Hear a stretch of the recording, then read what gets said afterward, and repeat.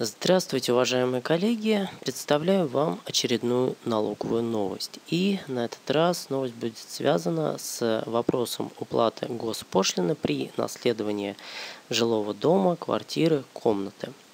Именно данному вопросу посвящены письма Минфина, реквизиты которых вы видите. И в данных письмах рассматривался вопрос об условиях а, освобождения от уплаты госпошлины наследника в том случае, если он э, наследует соответствующее жилое помещение. Иначе говоря, речь идет о применении пункта 5 статьи 333-38 НК РФ.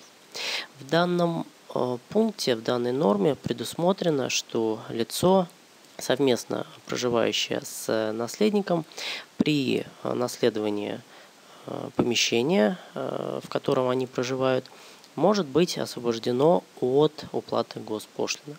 Вместе с тем, э, факт совместного проживания, он должен быть подтвержден документально. И в данном случае Минфин указывает на те документы, которые необходимо представить для подтверждения факта проживания.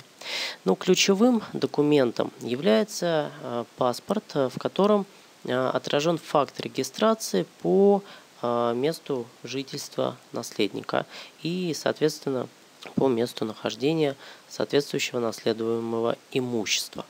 В том случае, если э, в паспорте э, не отражен факт регистрации, то э, Минфин предлагает соответствующий факт подтверждать соответствующими документами, справками из жилищного органа, городской, сельской администрации, а также документами из отдела внутренних дел. Ну и кроме того, э, Минфин не исключает, что факт совместного проживания может быть отражен в решении суда.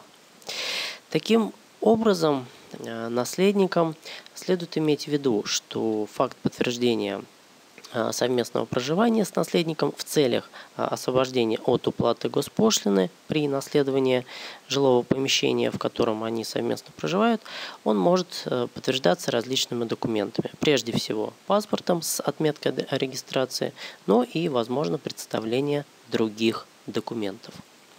А на этом все. Спасибо за внимание. До скорых встреч.